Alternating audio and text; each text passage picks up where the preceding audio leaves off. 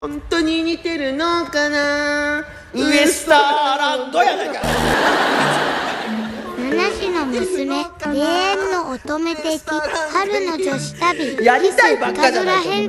なんでここに来たかっていそう。とう。言って言って。ひよりんが、うん。絶対生で見たい、うん。もうびっくりするようなうん。植物が今なってるの。そう。普通に自然にあるの？っていうしのりんが行きたかった場所どうしても見た。かった不思議な植物はこの都外温室にあるらしい。外はまだ真冬でもねきっと楽しめるところだと思います。わあなんでこりゃ。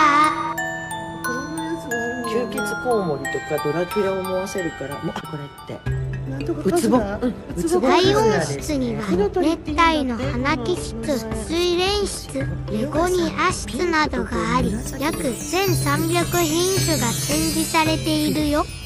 これでさよく髪を使われない。古代エジプトではパピルスの茎の組織で世界最古の紙を作ったらしい。エンジェルラッパちゃん言うよね。トランペットの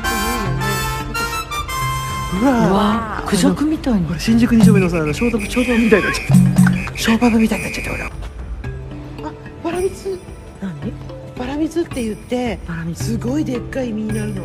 これ。ハラミツは英語名でジャックフルーツと呼ばれ世界で一番大きい果物なんだっ大てきい実がなるのバラミツって。大きな大きなゼンマイ言うなチャイってこれゼンマイじゃないからマルハッチしのりん来ますか翡翠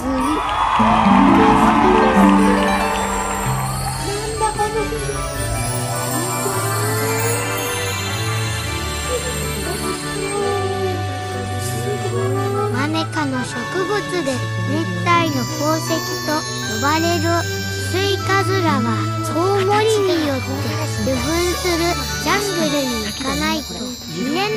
幻の植物だよ。知ってた？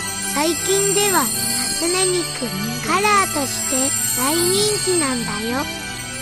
落ちた花は水に浮かれて楽しむのも素敵。七種の娘神秘の輝きにうっとり。大温室で夢のファビュラス体験もしちゃったよ。